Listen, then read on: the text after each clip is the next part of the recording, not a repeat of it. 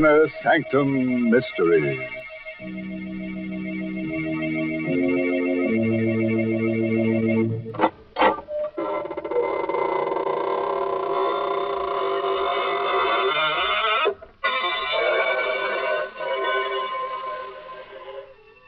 Good evening, friends. This is your host of the Inner Sanctum. Welcome through the squeaking door. Well, I hope you've spent a nice, quiet week building up your nervous systems. You're going to need plenty of red corpuscles to digest tonight's gory little dish. Hmm? What's that? Oh, you'd like to have a recipe.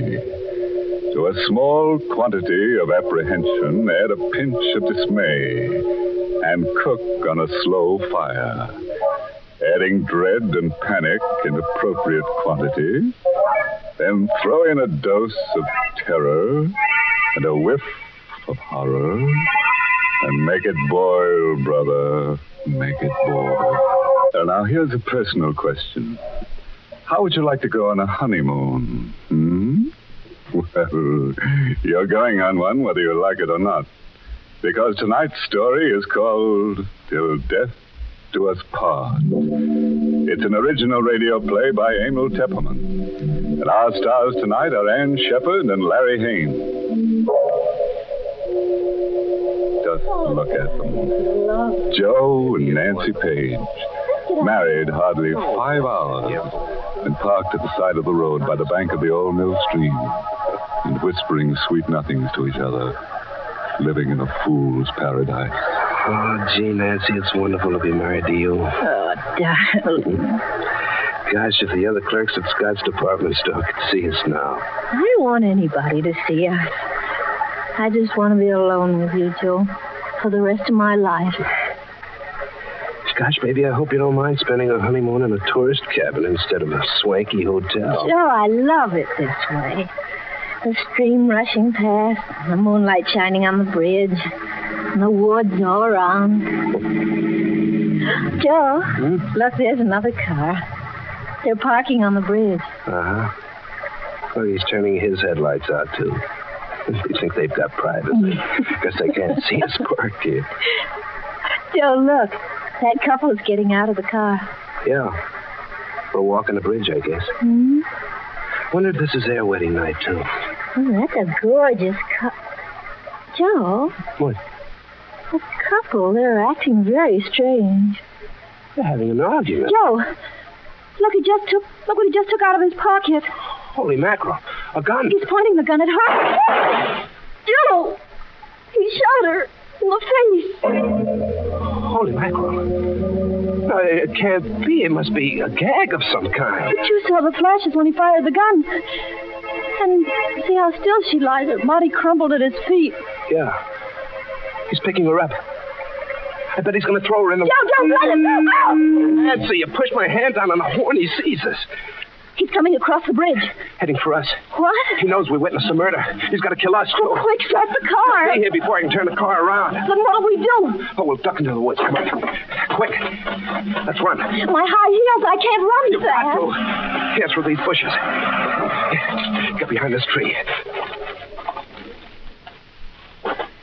He's getting out of his. Joe, he has the gun. He means to kill us. He's he's coming straight for this tree. Oh, he knows we're here. Nancy, we've got to run for our lives. Here, take my hand. Come on. He's shooting at us. Run, Nancy. Faster. Faster.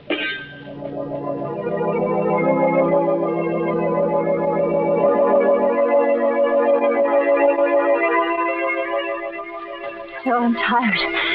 I can't go much farther. We can't stop. He's close behind us. They're gaining on us. No, nobody's still after us. Oh, let's stop rest. No, no, not yet. I saw headlights up ahead. Maybe there's a road. We can only make it. Joe, I'm through. I can't go anymore. Nancy, look, through the trees. The road. Come on, one last sprint.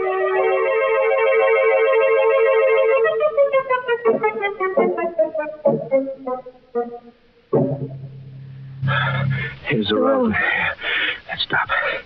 I never thought we'd make it. Is he still after us? Coming through the woods? I don't know. We'll stop the first car that comes along. Oh. Oh, now take it easy, baby. I was just thinking of that poor girl lying dead on the bridge. Our wedding night, too. Here comes the car. I'll stop it. It isn't stopping. He went right by. Joe, What? I, I, I think I hear something behind us. The woods. Oh, it's only the wind and the trees. Suppose he should suddenly stop. Step out of these woods with his gun. Maybe, maybe he gave up. Maybe, maybe he went back to take take care of that body. Our car's there. With our marriage license in the glove compartment and the receipt Mrs. Swenson gave us for the cabin. Yeah. He'll know all about us. Who we are, where to find us. And we don't know a thing about him except his face. The face of a murderer. Come on, Nancy. I think we better start walking. We've got to get to the cabin and phone the police.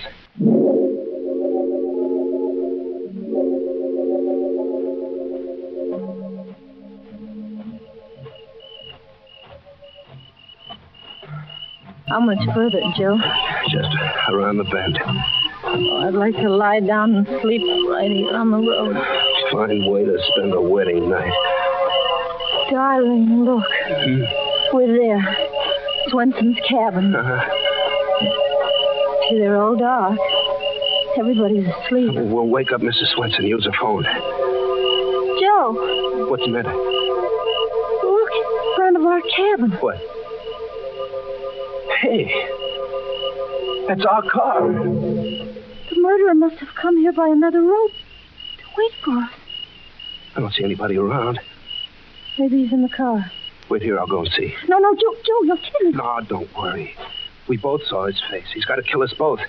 Don't you see, baby? If I go over there alone, he won't show till he knows where you are. But Joe, now, you take it easy, will you?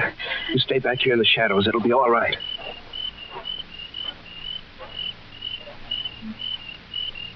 Okay, Nancy. Car's empty.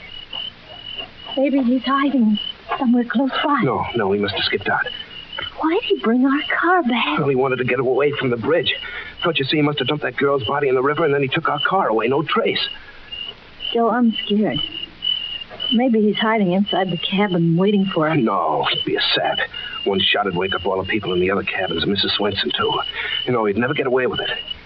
Come on, we'll go in our cabin get cleaned up, then we'll use the phone.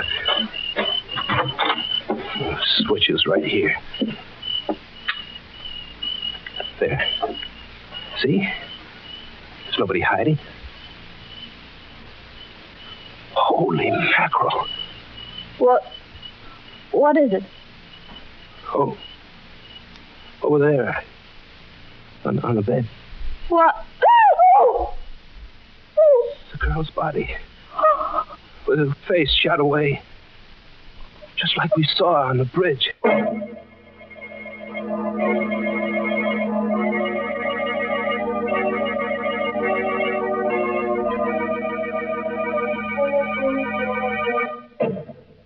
Well, well. Imagine coming back to your cabin on your wedding night and finding a corpse on your bed. A beautiful corpse who'd had her face lifted without going to a beauty parlor. but uh, don't worry, before the night's over, the murderer may have his face lifted too by a rope around his neck. And now let's get back to that cabin.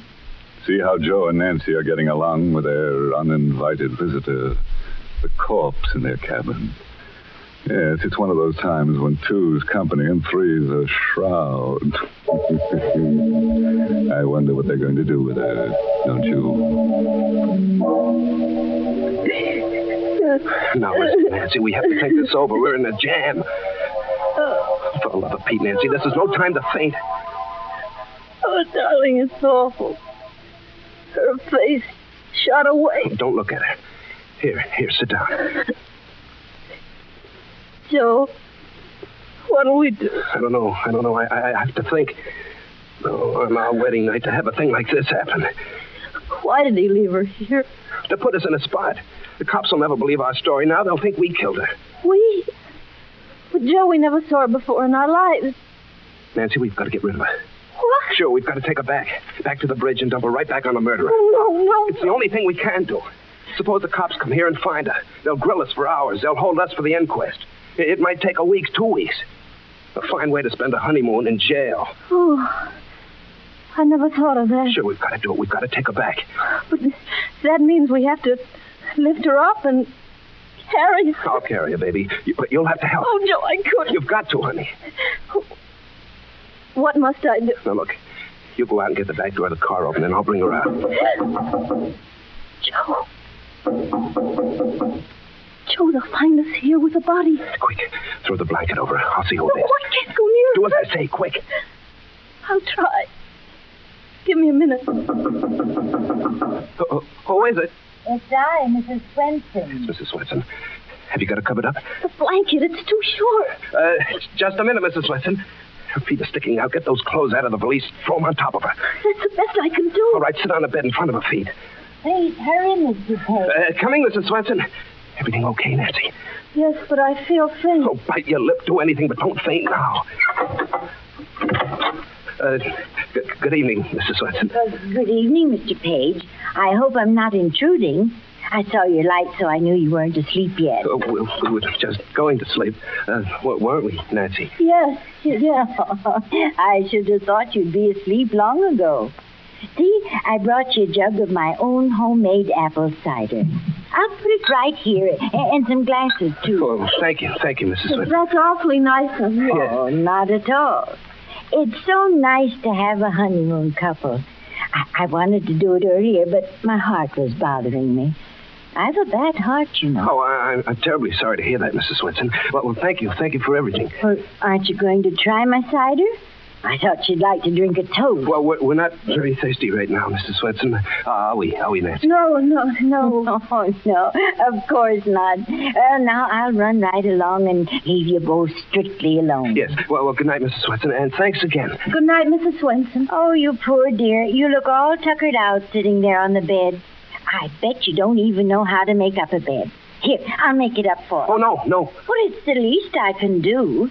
Now, now you just sit over here no. on the chair. No, Get- please don't. Oh, why? Well, she means, she means, please don't bother.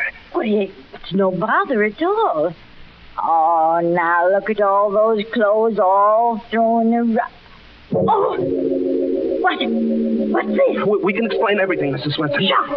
She's been shot in the face. Murdered. No, no, please, Mrs. Swenson, it's not what you Murdered. No, no. You're, you're no honeymooner. No. You're murderers. No, we- Please. Stop that. Let me go. Let me go. Shut up. Go. Stop that. Joe, the cloud keeps fluttering her. Joe, your hands. I'm just Look out. trying to stop her yelling. Please, Mrs. Swenson. Stop.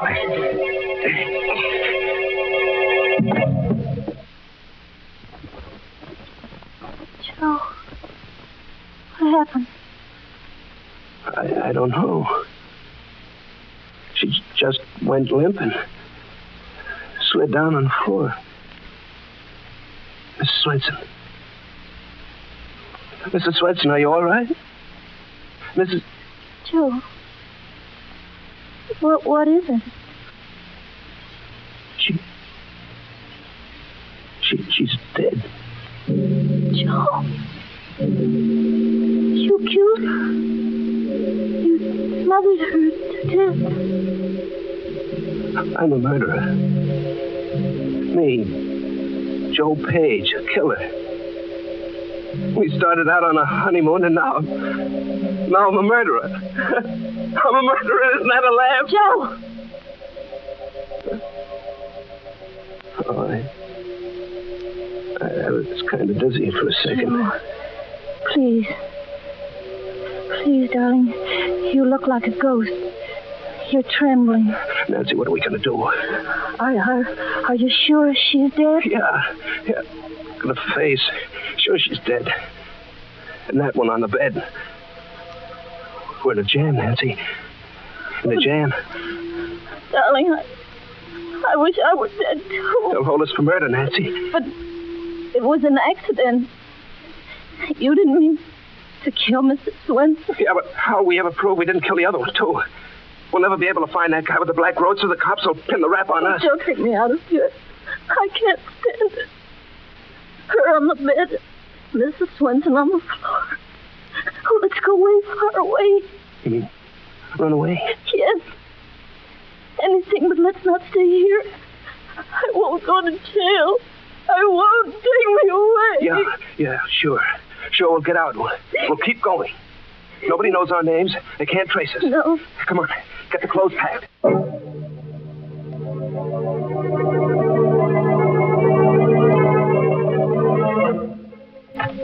Joe, I can't close this valise. I'll close it. You get the other one packed. And don't forget anything. Look under the bed. Yeah. Be sure we don't leave a single thing behind. No, we mustn't, mustn't leave anything behind.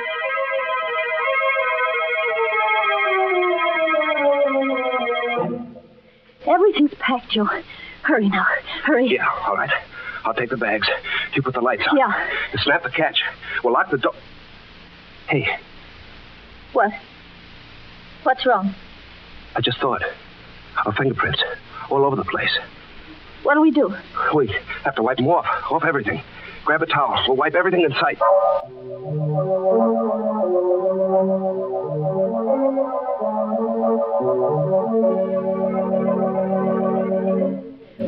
Wiped everything, Joe, I think. Uh, uh, the bedstead. Yeah? Uh, the bathroom. Uh, the faucet. Yeah. Yeah. Uh, the doorknobs, dressers. Yeah, yeah. Uh, and the water pitcher. Yes.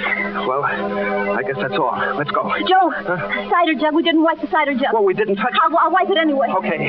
Snap it up, will you? Okay. All right. Come on. Oh, I'll feel better in the car out on the road.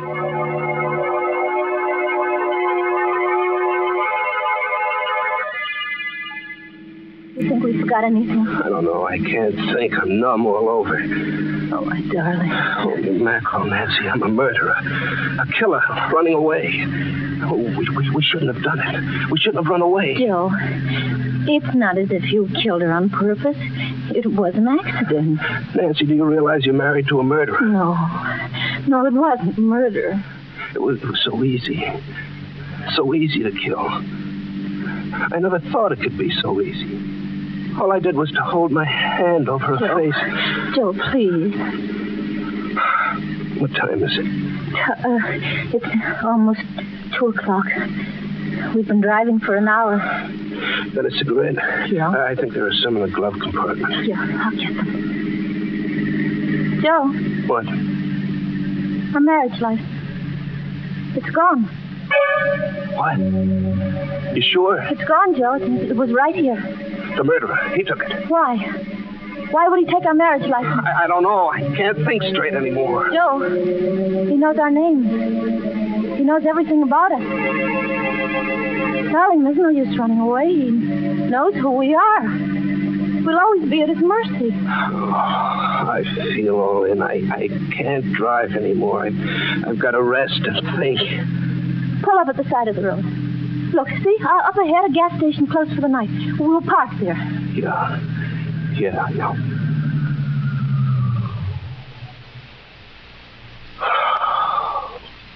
Oh, I wish I could sleep. I wish I could sleep for a hundred years. My poor Joe. Here, put your head on my shoulder. First night of our honeymoon. And maybe the last.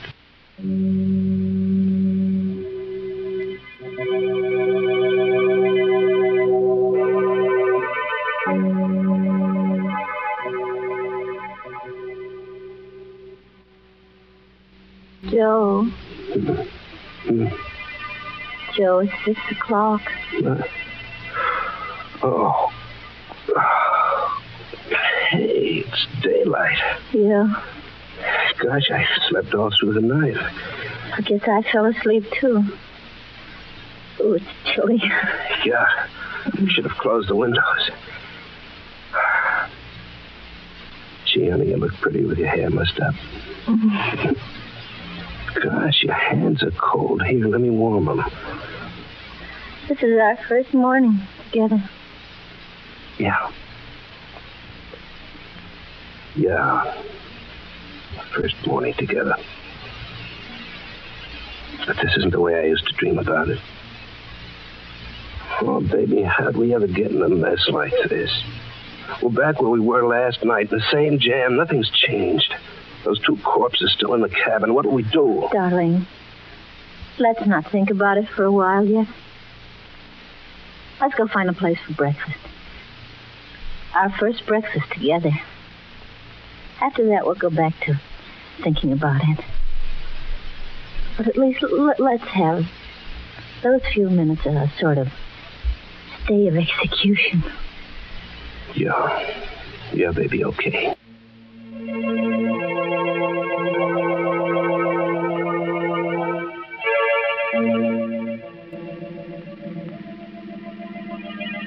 Look, there's a place, a diner. Yeah, but I haven't got much appetite. What we both need is something hot. You think there's an alarm out for us No, yet? darling, let's not think about it. No other customers inside. That's great. Good morning. You've been traveling all night? Yeah, yeah, all night. Uh, some scrambled eggs, please. Right. That'll take a few minutes. That's all right. We'll wait. Well, I'll turn the radio up for you. Your friendly neighborhood station with the early morning local news. During night, death came to Mrs. Hannah Swenson, whose tourist Joe. cabins are located yeah, I on the. Bay Park Highway. Mrs. Swenson's body was discovered by Oscar Jansen, the handyman, who was awakened by the sound of a car driving away from one of the cabins. Investigating, he found Mrs. Swenson lying on the floor of cabin three. Dr. Macklin, who was summoned immediately, announced that Mrs. Swenson had died of a heart attack. Huh? He had been heart her attack? for a severe heart ailment. A heart attack, and I didn't kill her. Years She didn't much say anything about the other body. Shh, shh, quiet. The state police are anxious to contact a couple who occupied the cabin and who apparently left during the night. They are traveling in a blue four-door sedan, license number 8N1637. Their names are not known as yet, but if they should hear this broadcast, they are requested to call at the state police barracks. Let's get out of here, Nancy. State police are very Say, what about your egg? Uh, can't wait. We're in a hurry. Come on, Nancy. What does it mean? Why didn't he mention the other body? It's a trap, honey. Get it? They're, they're keeping mum about the No, no, body. no, no, Joe, I don't think Well, so. what else could it be? We left two bodies there, didn't we? Darling, stop the car, please. Maybe the, the real murderer was waiting close by all the time. Maybe after we left, he went in and took the girl's body away again. I don't like it. I want to get away from here, far away. Joe, Joe, wait. Look, darling, don't you realize you're not a murderer? You didn't kill Mrs. Swenson. It was a heart attack. That's what they say. I say it's a trap. Let's get moving. Come on. No, it, it's too late. Look, State troopers. yeah, he's coming right over here. Sure, he's got this license number. Well, baby, I, I guess our honeymoon's over. You, Mr. and Mrs. Joseph Page? Yeah, yeah. You're Joe Page. Yeah, that, that's, that's right. You, lady. You're Nancy Page? Yes? Well, then, this belongs to you. What? What is it? Take it. Um, hurry, July. What? Where'd you get it? One of our men happened to be cruising down by the old mill stream last night. Saw a fella get out of a roadster on the bridge carrying a girl's body. Fella dumped the girl over the rail, and our man went after him. They had a gunfight, and the fella got a slug through the heart. When we went through his car, we found this. On the back of it, you notice he wrote your license number. Then you got the murderer? Sure did. But we didn't recover the body of the girl. It was carried downstream. May take several days to find it. Then, th- then we're not wanted for anything? Well, your other folks were in Mrs. Swenson's cabin last night. We figure you left in a hurry. Kind of embarrassing to have a thing like that happen on your honeymoon, huh? Can't blame you. Oh, uh, we're free to go on our honeymoon? Just come down to the barracks and sign a statement, and then you can be on your way. Uh, uh would you mind, officer, just a few minutes?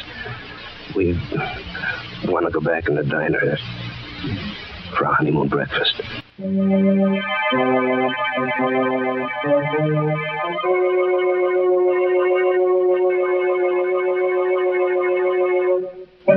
Say, what's going on here? Two measly murders and a happy ending. I was hoping Joe and Nancy would end up in a cell with a warden asking them what they wanted for their last meal. What do I get instead? A wedding breakfast. Ah, The crowd down at the morgue are going to laugh at me for this. It won't be their last laugh either. No, they had that already. yes, I have a feeling that somebody's been tampering with tonight's story. And now a parting word of advice, friends. Our solution for eliminating crime. The perfect way to prevent any murderer from committing murder is to commit the murderer before he commits the murder. oh, by the way, this month's Inner Sanctum Mystery novel is The Whistling Leg by Roman McDougald. And now it's time to close the squeaking door, so good night. Pleasant dreams. Hmm?